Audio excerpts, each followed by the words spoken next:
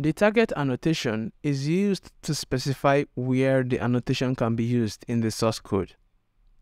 We apply this annotation to annotations.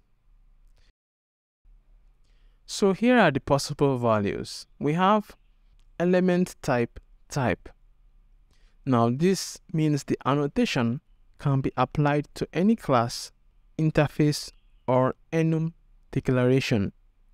We have field which means it can be applied to any field declaration.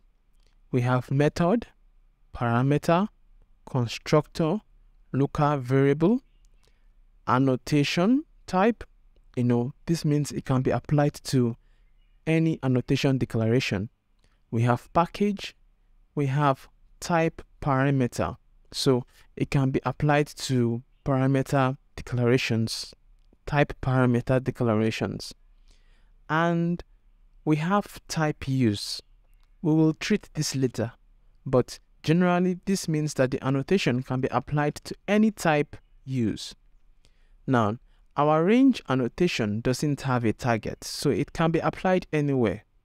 However, if we set it to target only type, which will include classes, interfaces, and enumeration, we will see an error because we applied the annotation to a field and our target statement doesn't support that.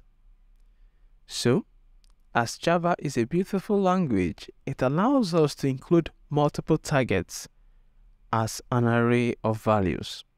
So we can also include the field target. And when we do that, it clears the error.